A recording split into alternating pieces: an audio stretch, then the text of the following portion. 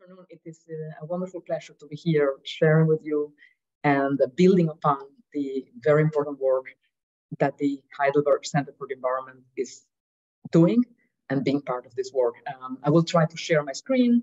Um, please bear with me for a moment and um, hopefully it will um, work out. So um, yes, just one second. Yes. So the first thing I want to do is simply to acknowledge and to emphasize how important work that the Heidelberg Bridge is doing. Um, I think we are we're talking about a bridge. We are talking about a bridge between policy and research, between research and policy. And that is not something we see very often in, in academic institutions. And we are also talking about building a bridge between different um, areas of research, including research on climate change and mitigation, not simply from the usual perspective of the EU or the nor northern countries, but from the global south as well. We have had uh, some interesting talks uh, on this issue. Um, questions having to do with different aspects of the global carbon cycles. And um, I think this has different elements which are extremely important to, to keep into consideration, um, even when it sounds like something very esoteric. The connection between global climate and regional political economies. Um, we've had examples of, of, talks on this by Professor Koch on the Middle East, um, on the post-Soviet area, um, including my talk and others, uh, issues of governance and climate change. And I also want to acknowledge uh, important work on international private law as related to governance of energy and climate change and really um, I don't know whether she has given a talk in this series, but um, Simons, my host's own work on this area is, is important and is an element of governance of energy and climate change that should not be neglected. So thank you for including me in your series. Um, I'd like to say a few words about myself. Um, my host um, was very kind in, in the way she described my work. Um, the most important things that I think you need to understand about me is that I'm a Latin American. I was uh, born in Argentina, grew up there and in Puerto Rico, but all my life, uh, since age 16, I have been working with the former Soviet world. Um, I'm one of these people who became, um, whose life was transformed by learning Slavic languages. In my case, first Russian and later on Ukrainian and Belarusian. And I've spent many, many years uh, combining my work as a quote unquote boring professor in the United States with field research in Eastern Europe. And uh, I'm glad I did that because that's going to be much more difficult now, uh, especially concerning Russia. And finally, for good or for bad, I have been happily swimming in Soviet and post-Soviet fossil fuels for many years. Um, this is for good because I know that part of the post-Soviet political economy very well whether you think fossil fuels are good or bad, they have shaped that region. Um, and this is bad because we need to move beyond fossil fuels. And like many other researchers in that part of the world, um, and many policymakers in that part of the world, I think we our views are still very much shaped by the tremendous importance and weight of fossil fuels in that part of the world. So I acknowledge that, um, if I have time, I will tell you about my new research project, and um, you will see how I'm moving, uh, building upon that reality, but moving forward into new questions. So I'm here to talk about a book, but more than a book. Um, the book's Russian Energy Chains. I hope that you will read it. Uh, it's mm-hmm. quite likely that your library has an electronic copy, so you don't even have to buy it. Uh, but what I'd like to do is not to dupl duplicate the story told in this book, which I certainly cannot summarize in just 30 minutes, but use the prism of the new reality we are seeing after Russia's all-out invasion of Ukraine in, on February 24th to highlight some aspects of this book or of the analytical framework presented in this book that gain new value and new power after February 24th. So this book was published uh, just before Russia's all-out inv invasion. Um, um, and what is interesting for me is that the new situation highlights some other elements that were kind of dormant in the book, but which now uh, gain new importance in, in, my understanding. So the first thing I'd like to do is tell you a history of how I got into that work, um, which is uh, also the history of different elements of my attempts to understand the role of energy and yes, fossil fuels in the post-Soviet political economy.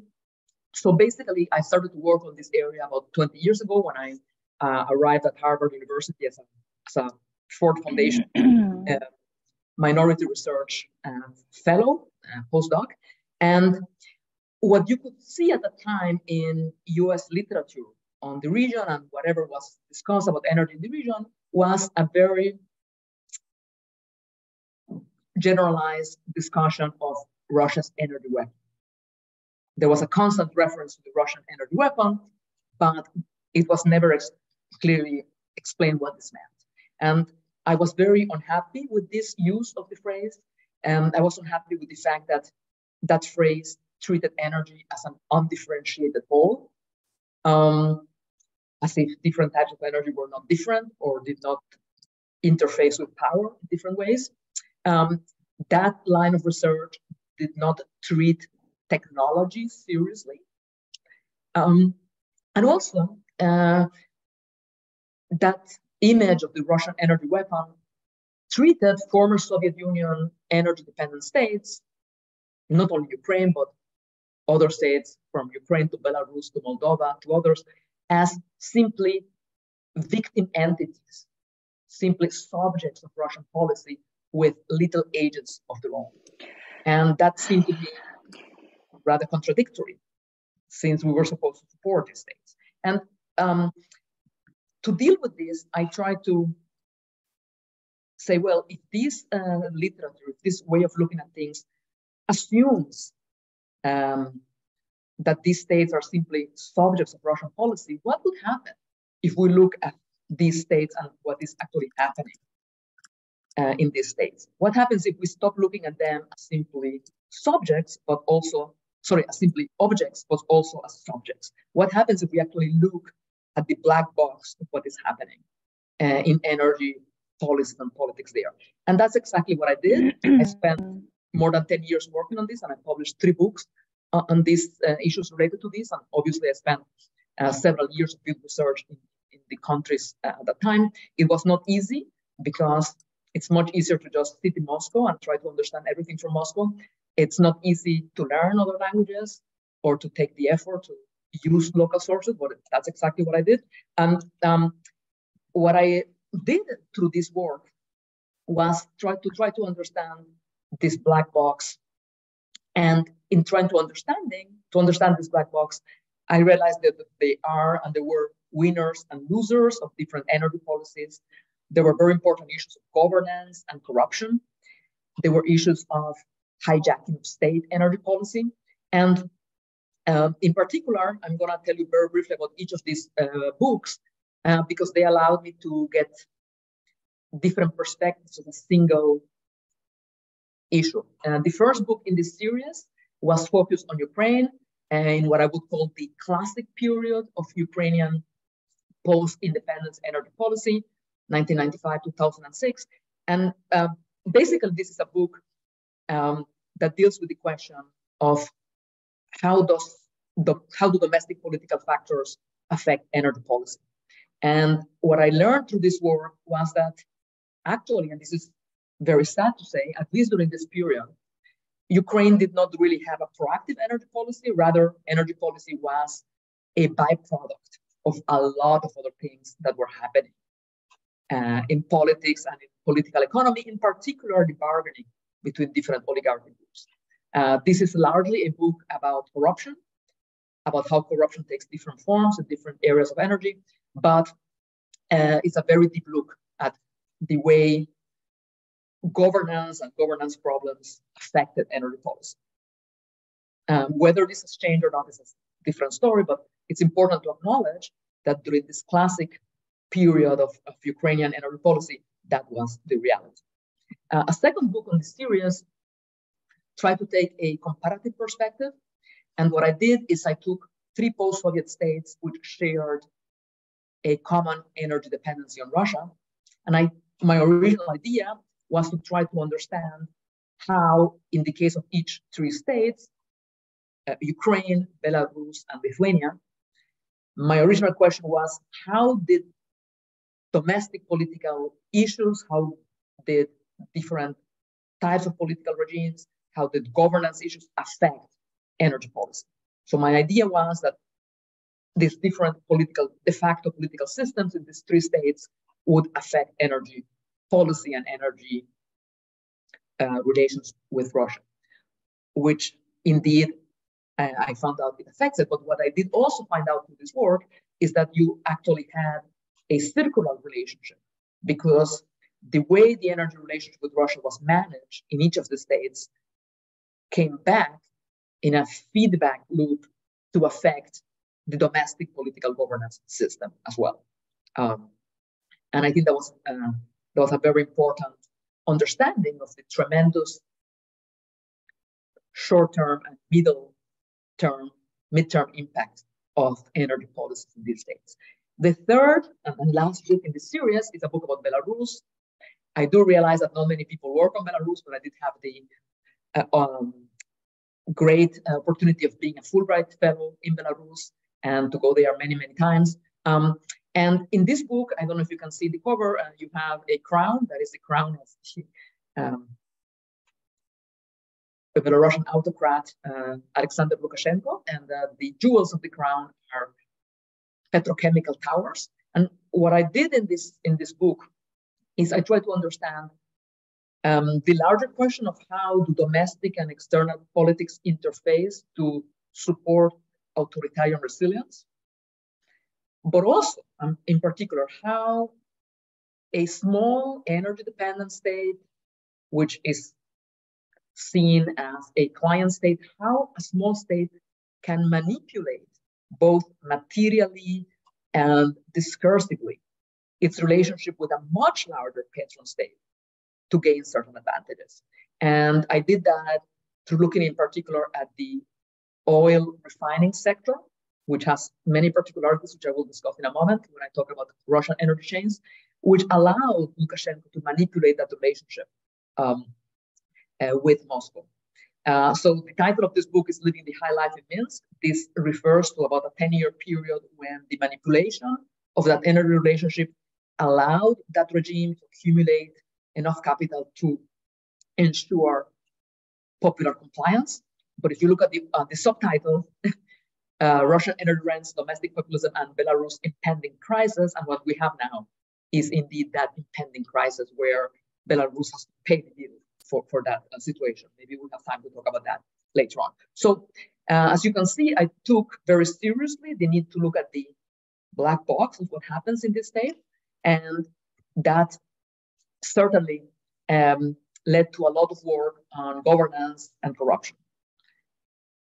But by looking at this black box, uh, I very slowly, and, and, I have to accept that I'm very slow, uh, I got to understand that above and beyond the issue of corruption and rent seeking, which had played such a prominent role in, in my work, there's, there was a deeper issue, a deeper tension having to do with ambiguous attitudes in each of these states, ambiguous attitudes towards participation in Russian energy chains, energy chains related to the export or re-export of Russian energy resources. On the one hand, all the states stated that they wanted to establish energy supply diversification and infrastructure. Some of them said that in a more authoritative manner. In other cases, you would not really believe it. Um, but in each of these states, even the three states I compared in my in my 2013 book, Belarus, Ukraine, and Lithuania, in each of the states, they also wanted at the same time to strengthen the country's role in that uh, value chain of Russian energy exports. Why? Uh, perhaps because of the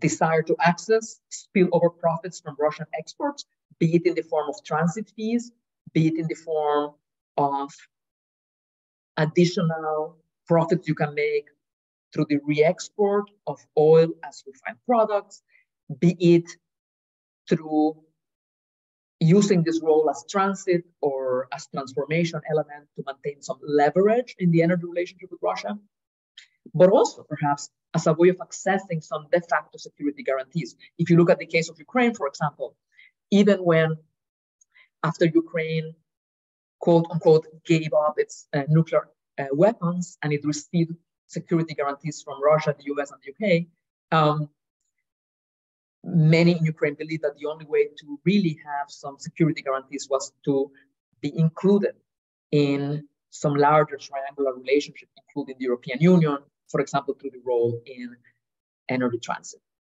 So even if you don't think about corruption, even if you don't think about some specific corrupt actors whose interests were closer to their wallets or to Russian interests than to their own country's interests, that ambiguous attitude was there. And I think this is uh, this is what um, motivated uh, this work on, on, this book. And um, when I started to work on this, I understood that participation in those chains were not was not simply about threat, threat from Russia, but it was also about opportunity and even temptation and not only for corrupt actors, but for a variety of actors uh, at all levels of, of society. Um, and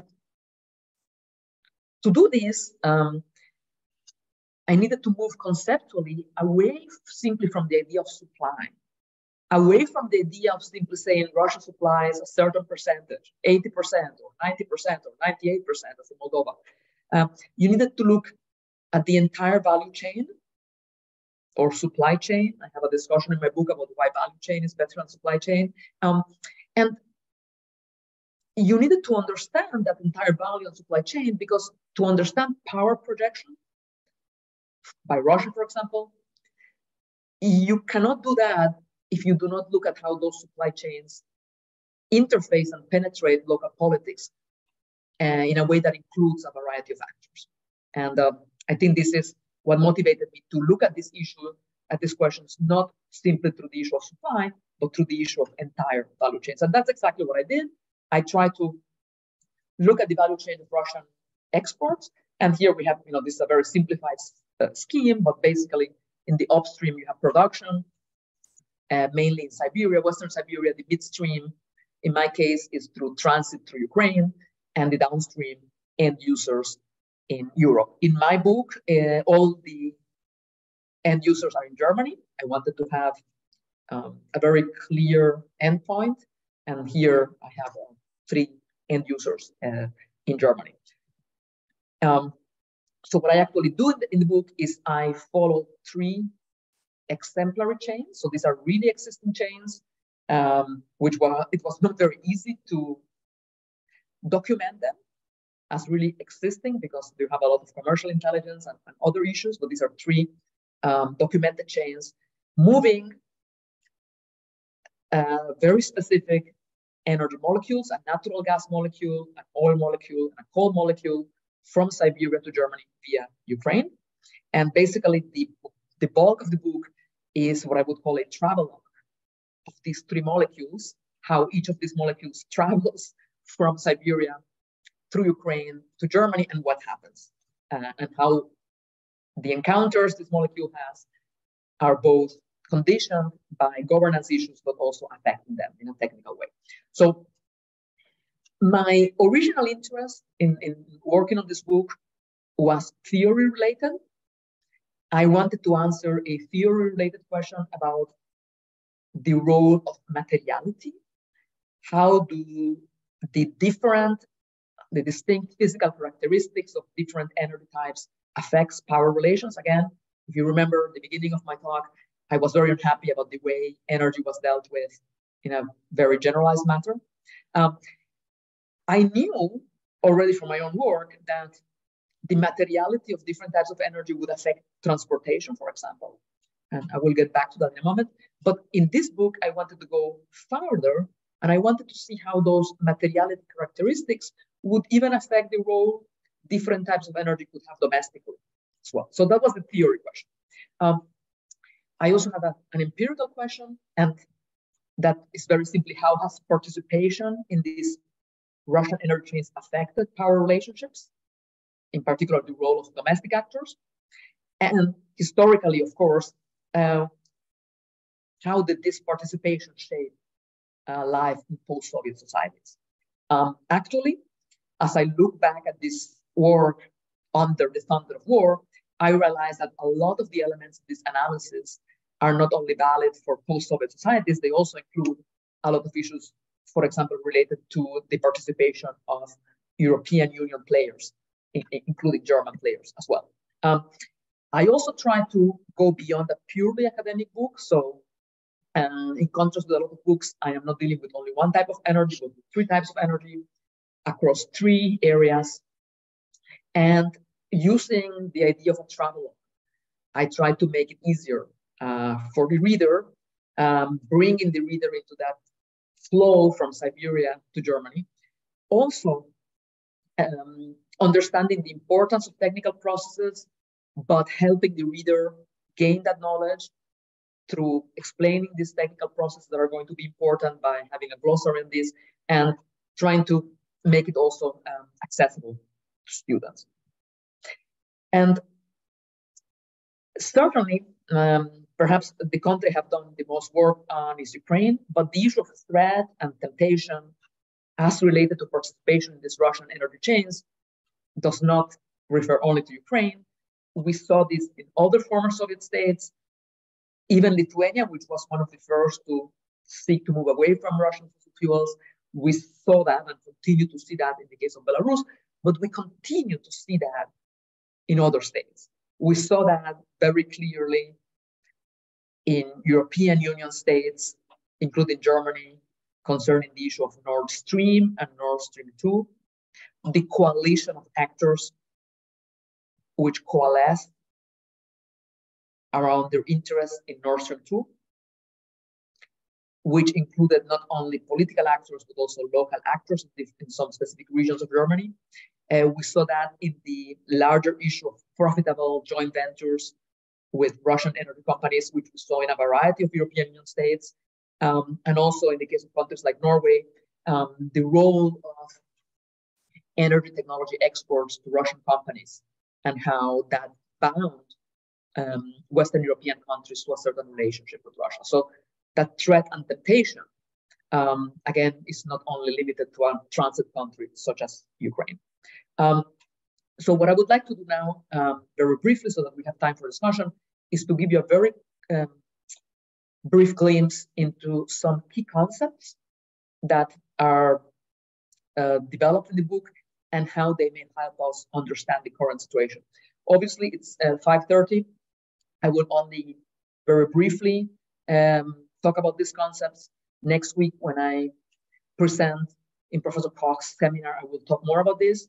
Um, but I simply want to uh, flag them as things that we may want to keep in mind, even after many aspects of the energy situation have changed after February 24th. And the first issue is the impact of materiality. And in, in my analysis, it's about the materiality of different types of energy and how that affects what you can do with it. It may have to do with how you can transport it, how you may transport it profitably, not profitably, but also how, how that transportation can be disrupted. Um, it also affects what transit countries can do or may not do. And it also uh, has to do with some of the issues related to the current situation, including the situation of sanctions and the European Union's desire to move away from Russia? How does the materiality of energy affect the possibility of actually moving away from different types of uh, Russian energy? And how does it affect Russia's ability to sell those goods in other markets? Um, the second uh, key concept is the concept of a whole value chain analysis. And here I, I dig deeply into the issue of why it is important to look, on the one hand, not simply at at supply, but at the entire chain. And secondly, not simply at supply chains, but at the value chains. And there is a difference between supply chain and, and value chain. Um, I don't have anything against supply chains, but if you add the additional gaze of the value chain, especially in goods that have a tendency to have deep swings in value, this gives you a better understanding of the way in which those materiality differences may play a role in power relations. And I will talk more about that next week at Professor Koch's um, seminar. Uh, the third key concept is the concept of energy political systems. And basically, this has to do with the fact that we cannot consider energy systems as only energy systems, only technical systems. Certainly, the entire te technical side is very important. Certainly, in this book, it is because materiality is about technical constraints and how they may be used by actors. But you need to understand the energy system as all the things that energy produces. And in the case of post-Soviet state, in the case of Ukraine, for example, it produced not only energy, but also currency for certain political bargains, rents, systems of social provisioning, uh, and so on. Um, the fourth key concept is the importance of contracts. And again, here, this takes me back uh, to something I mentioned at the beginning concerning the role of private law. Um, we often think simply about energy security and energy policy at the level of the EU or individual states, but actually looking at contracts, uh, the fine print in contracts can give you very important cues as to how certain things happened or did not happen.